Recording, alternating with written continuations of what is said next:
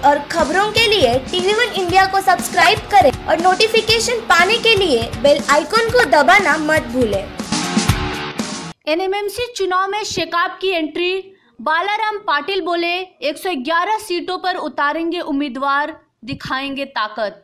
रायगढ़ और पनवेल में राजनीतिक हाशिए पर चल रही शेतकरी कामगार पार्टी अब नवी मुंबई मनपा चुनाव में किस्मत आजमाने की तैयारी में है।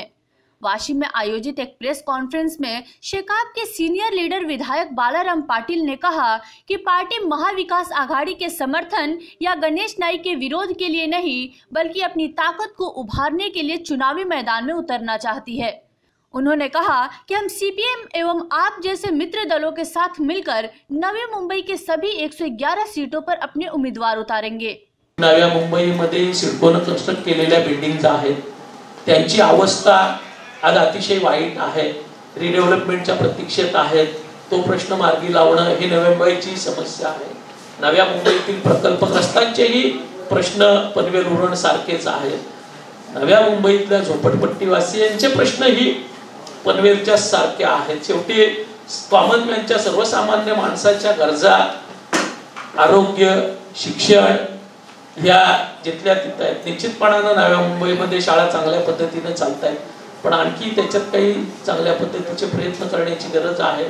ते करायचा आमचा प्रयत्न भविष्यात असणार नवी मुंबई के म्यूनसिपल कॉरपोरेशन के इलेक्शन में क्षेत्रीय कामगार पक्ष यहाँ पे हमने साथी पार्टियों के साथ 111 सीटों पे लड़ने का ऐलान कर चुकी है। और उसी दिशा में आपको यहाँ पे बुलाया है, आप सभी आए, आपका स्वागत है। ये जो इलेक्शन है, हम लोग एक नए मुंबई के अंदर जो एक, दोनों बाजू जो महाविकास आघाड़ी और बीजेपी, इन दोनों के विचारों से सहमत नहीं है।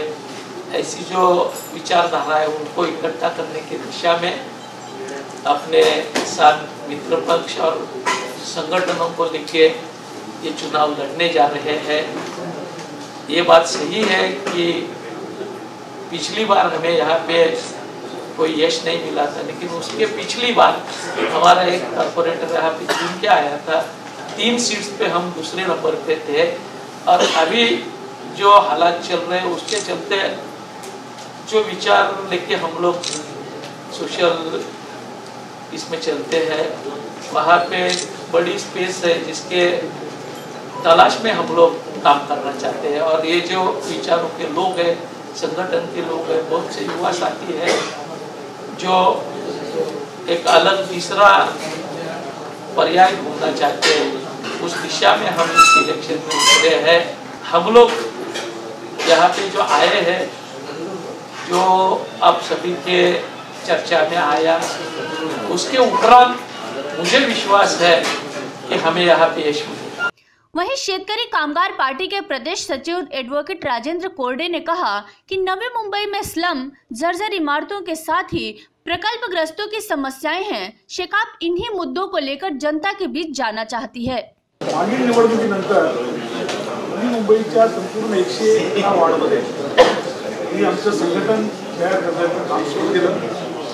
आज पक्षाचं युनिट आहे. पक्षाच्या आघाड्या या ठिकाणी काम करत आहेत. आणि प्रत्येक वॉर्डामध्ये पक्षाची एक यंत्रणा आहे. त्याच आधारावर आम्ही सांगतो आहोत नवी मुंबईच्या सर्व एकशे अकरा जागा ज्या आहेत त्या आम्ही लढणार आहोत. आणि जसं आता मनाला पाटलांनी सांगितलं त्याप्रमाणे मीडियाकडे आमचं थोडं लक्ष नव्हतं परंतु नवी मुंबईचे जे झोपडपट्टीचे प्रश्न आहेत नवी मुंबईचे जे सिडकोच्या बुडकळीत आलेल्या इमारतींचे प्रश्न आहेत. त्या सर्व प्रश्नावर आम्ही कायम भूमिका घेत आलेलो आहोत. सरकारबरोबर पाठपुरावा करत आलेलो आहोत. प्रसंगी आंदोलन सुद्धा करत आलेलो बताते चले कि पिछले मनपा चुनाव से पहले भी शेकाप ने ज़ोर आजमाइश की थी। फ़िलहाल देखना होगा शेकाप नवी मुंबई में अपना दमखम कितना दिखा पाती है। Bureau report, TV one India.